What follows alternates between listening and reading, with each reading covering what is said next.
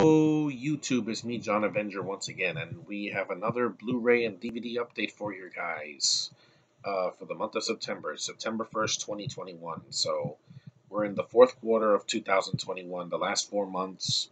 Got a lot of stuff to show you guys. Hopefully, my next update will be either a month or two. It depends if I'm going to buy stuff in October.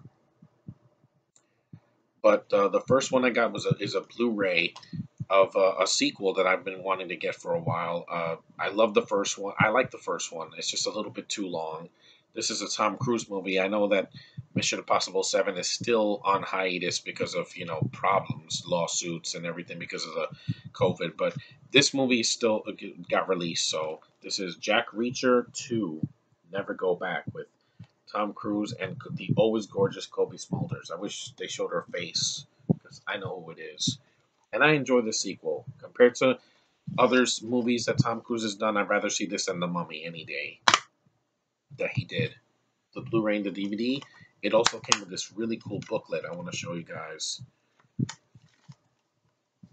Look, it came with this. Uh, Lee Child's Everyone Talks.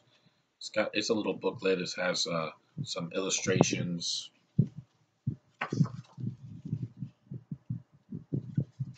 Tom right there. This is the one where the, he thinks he has a daughter, you know, that blonde girl. It, there, there's some things that are not as good as the first movie, but it's a lot shorter and the villain's better, and you have a way better female lead in this one compared to the first one. Because uh, Cobie Smulders any day over Rosamund Pike. She was in the MCU, so Pike will never be in the MCU. You got to, yeah, just show you the pictures. I don't want to, this print is very, very small so you won't be able to see it on camera. But the illustrations are cool. That. And that's it. Okay, yeah, this booklet's really cool. I'm glad I got it with this Blu-ray. It's a good movie. I think it's an underrated sequel, and it's not as bad as some people have said it is. It, you know, the some sequels are not going to be better than the first one. I think this one is a bit shorter because you know there's things I like better than the first one. Oh, it doesn't fit in. Wait, I'm gonna fit it in there. Here we go just like that. It's a good movie. I'm glad that I finally got it on Blu-ray. Next, this is the only other Blu-ray I got. Uh, it's part of a three-pack uh, because I got the first one on Blu-ray and the, and I, I just got the third one on DVD. Jack Hunter, The Stairway to Heaven, Stair, Star of Heaven. This is the third and final one in the trilogy. Now I have all three films. I got the first one. I just got the second one on DVD. Jack Hunter and the uh, Quest for the Akhenaten's Tomb, and now I got the third one. So all three Jack Hunter movies. These are fun films. While they're not Indiana Jones, they still are way better than the Mummy 2017. Uh, they're better than the National Treasure movies, which I thought were just kind of dull. Uh, I like them better than some of the, you know, the librarian movies, you know, that came out in the 2000s. I like that only because of the lead, and the third one is my favorite because of the lead girl. But these are fun films. If you've never seen them, they have them on Tubi. You can watch them for free. And they're not Indiana Jones, but they're not terrible. They have way more entertainment value than I can count. And now I have all three, so I'm very happy. If I ever get this one on Blu-ray, I'll donate this DVD, but I have them all now. I'm very happy.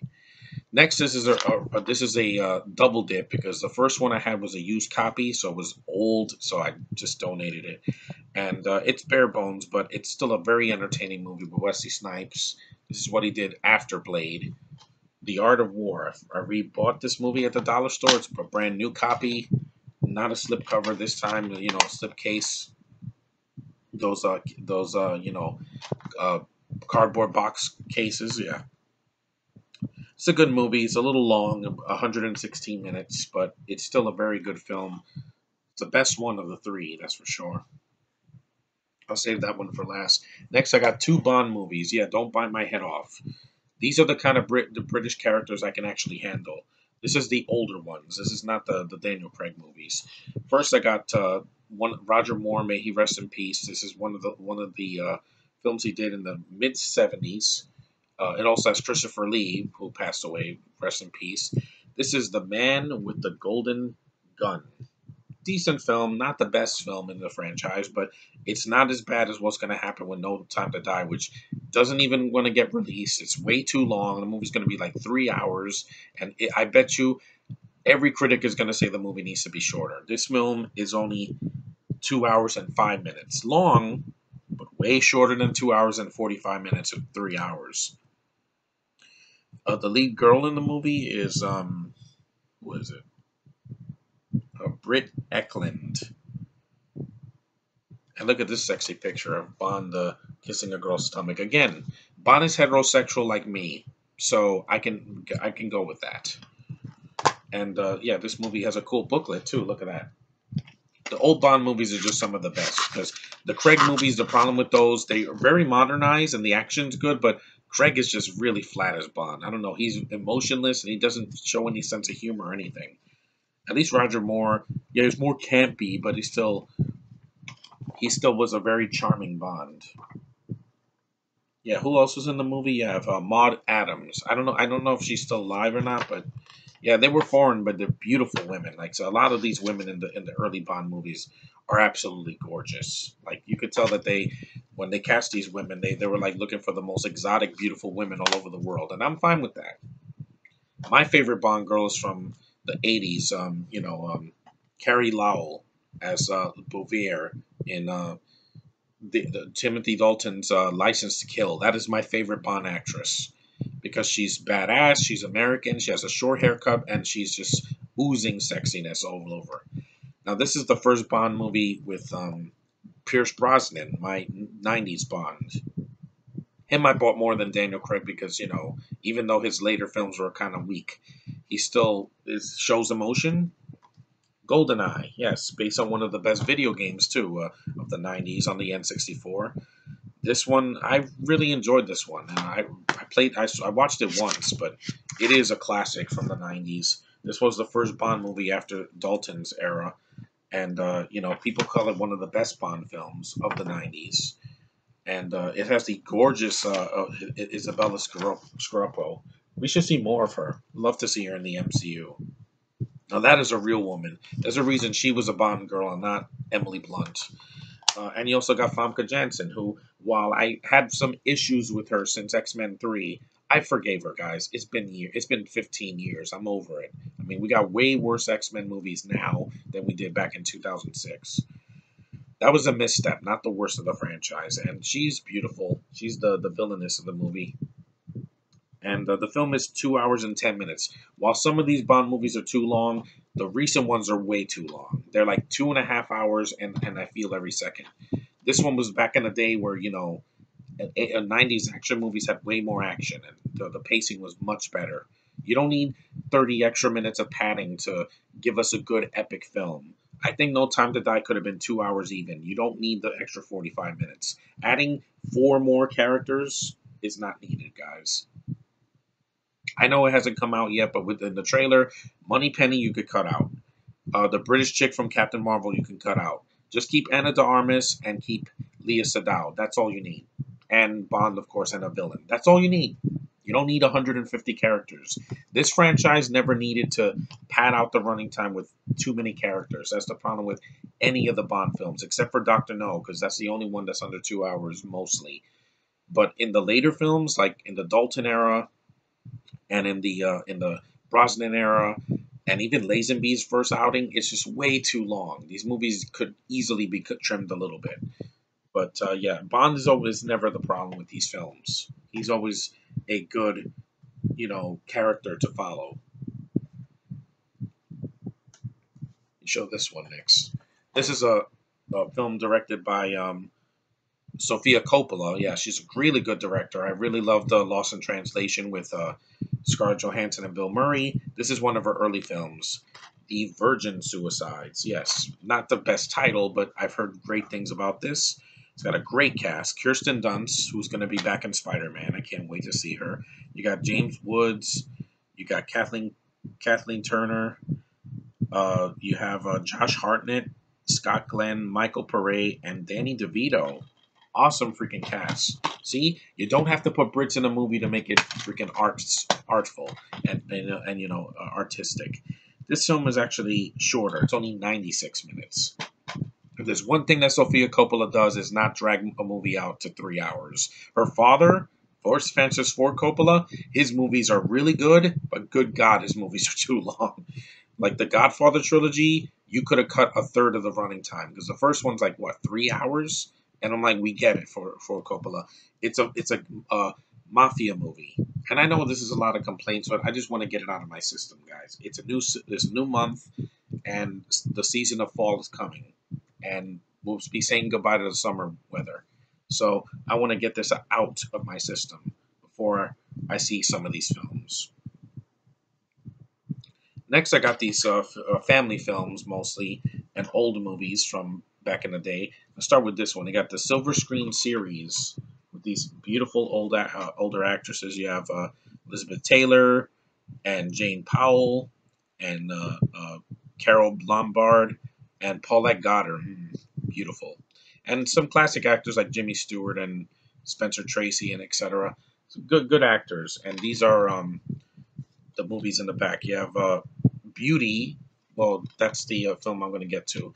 You have uh, Pot of Gold, which I have already. I'll probably get rid of the old one. Father's Little Dividends, I've had that one. Mr. Imperium, I finally got a good copy of it from Echo Bridge, not a bootleg copy. I got rid of that.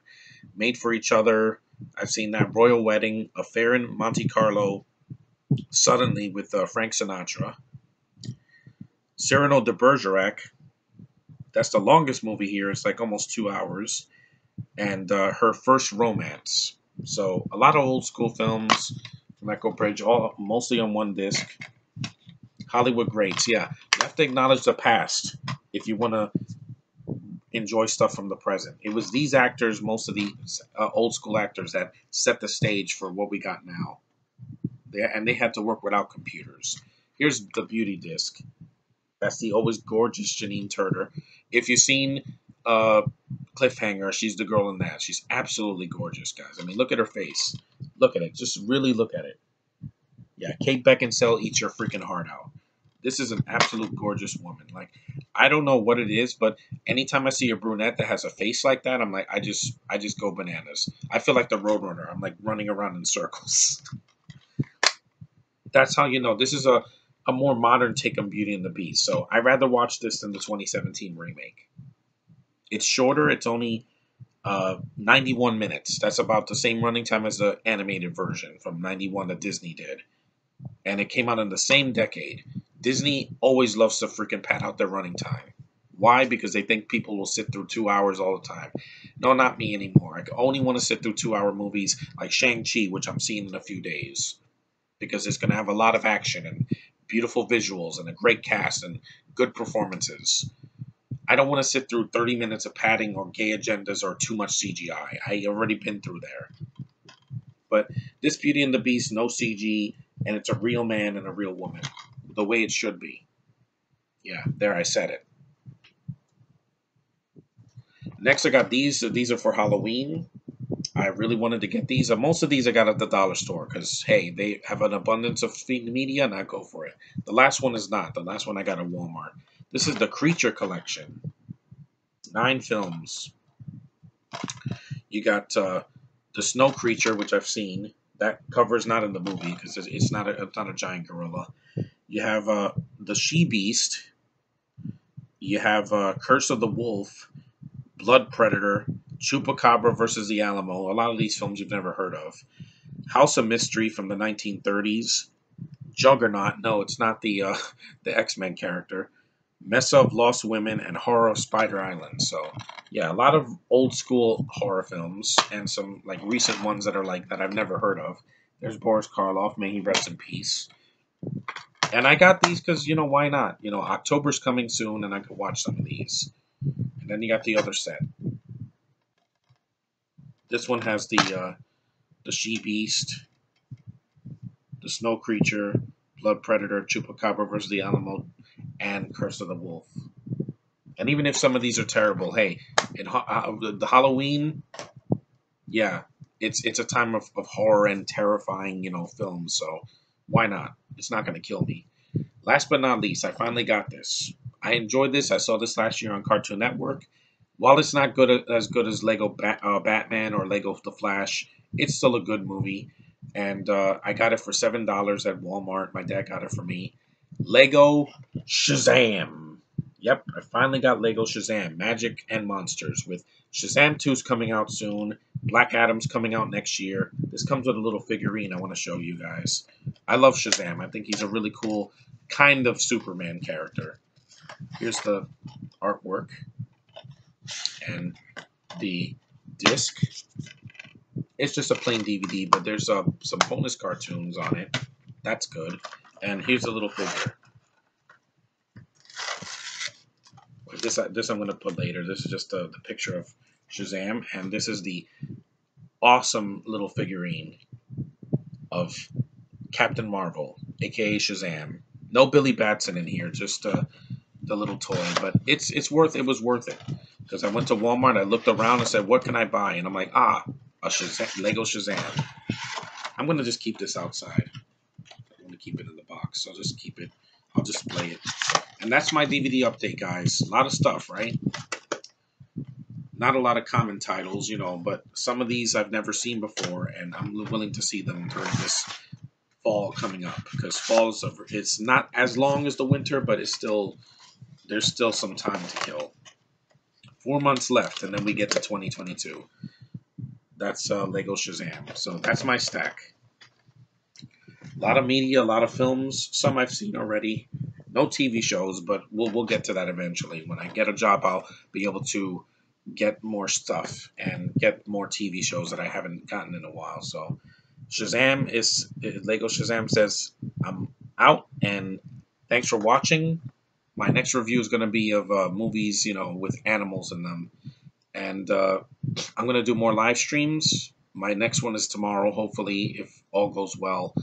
And uh, next week, I'm doing another live stream for Labor Day. So stay tuned. Thanks for watching. Take care, and I'll see you guys in the next one.